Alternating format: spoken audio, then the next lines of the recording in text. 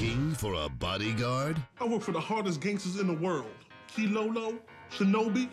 Hell, I still work for Tupac even though he dead. I am Israeli military secret service. Oh, damn! I'll go beat their ass right here, right now. Look no further. I'm Drillbit Taylor. As a bodyguard, I protected three vice presidents, Bobby Brown and Sylvester Stallone.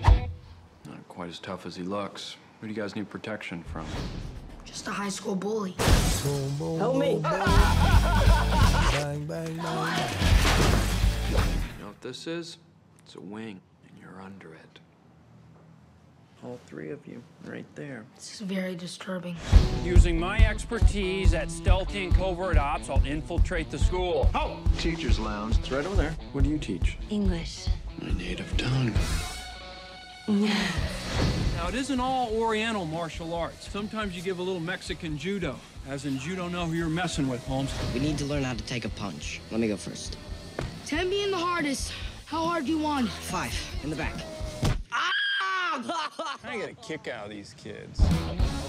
You're really getting into this whole teacher thing here, huh? As long as you got a coffee cup in your hand, nobody says anything. Oh, hello, uh, fellow teacher. This spring, Run. Stop hassling these kids. Ah! Ah! Oh, that doesn't work at all. Everyone's sick of your garbage. It's gonna end now. from the guys that brought you knocked up and Superbad. Morning sunshine. Since when did you start sleeping naked? I don't like elastic squeezing on my. And guys, my teacher.